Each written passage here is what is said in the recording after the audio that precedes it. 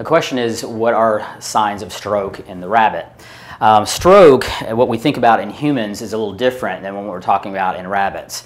Rabbits uh, very commonly have inner ear problems or problems with abscesses in the, in the central nervous system or brain.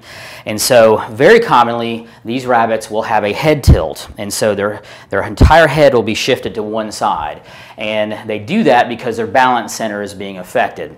And so we just kind of blanketly call it stroke and people would recognize that as a stroke. But it's actually not a vascular problem typically in a rabbit like it is in a human. So in rabbits, what, what we're ending up dealing with is either an inner ear infection um, or a parasitic type of infection. Um, trauma can also cause a head tilt if there's trauma to the head. And very commonly, an infection of the brain or an abscess in the brain.